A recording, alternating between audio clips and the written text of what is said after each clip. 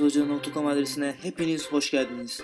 Bugün de sizler için beyin yakan filmlerden 8 tanesini listeledik. Beşi de oldukça yetenekli suçlu, hiç olmayacak bir hata yüzünden gözaltına alınır. Olaya araştırılacak birçok insanın öldüğü liman patlamasıyla bu 5 kişinin bağlantısı olduğuna inanmaktadır.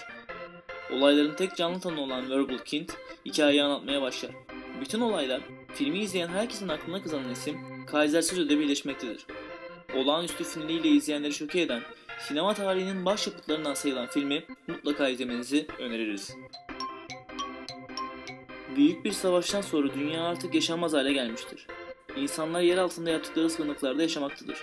Günün birinde bütün bu olan biteni değiştirmek için bir zaman makinesi yapılır.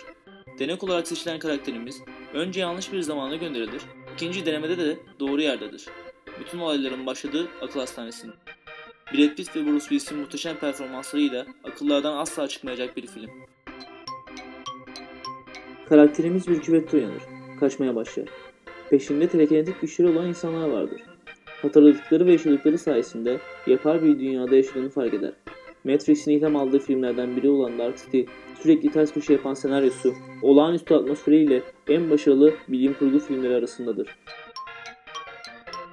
Tarih profesörü John Altman çalıştığı okuldan ayrılmaya karar verir. Arkadaşları da ona bir veda yemeği düzenler. Muhabbet oldukça farklı yönlere gider ve John 14 bin yaşında olduğunu açıklar. Yani yaklaşık olarak buzul çağında doğmuştur. Başta hiç kimse böyle bir şeye inanmaz tabii ki.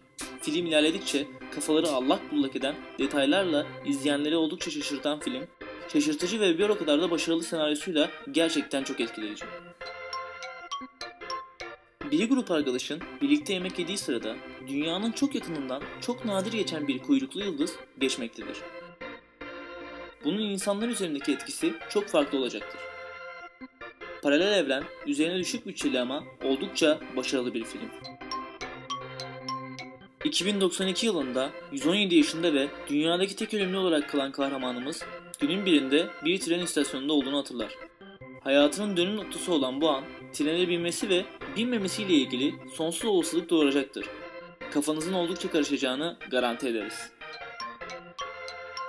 Matrix'in yaratıcılarından 1700 yıllardan uzak gelecekteki zamanlara kadar aynı oyuncularla farklı hikayeler bulunduran ama temelinde hep aynı mesajları içeren bir film.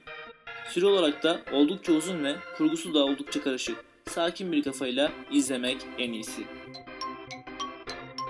Lise yıllarındaki Donnie, çevresine uyum sağlamakta güçlük çeken biraz sorunlu bir gençtir. Gerçek olmayan bazı görüntüler görmeye başlar. Özellikle tavşan kostümü giymiş bir adam sürekli Donnie'nin karanlık dünyasında belirmektedir. Donnie zamanla bu adama güvenecek ve söylediklerini yapmaya başlayacaktır. En iyisi birkaç kere izlemek.